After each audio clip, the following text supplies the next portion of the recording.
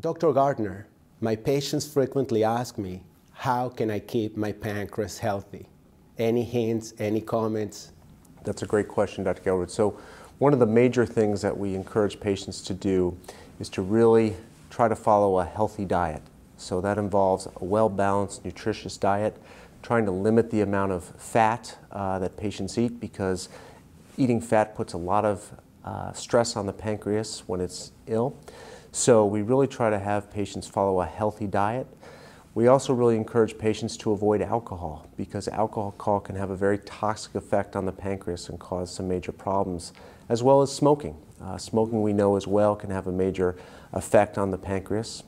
Uh, we also like patients to get plenty of exercise and really try to keep their uh, weight down and within a good range. Uh, so generally healthy lifestyle habits that are good for your heart and good for your lungs, uh, those are also very good for your pancreas as well.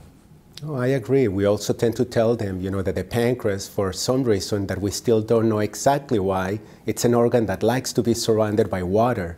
So we, tell to, we tend to tell the patients to stay well hydrated, you know, all the time. Well, that's a very good point. I think when the pancreas gets sick, one of the major reasons why is because it doesn't have enough water and does get dehydrated.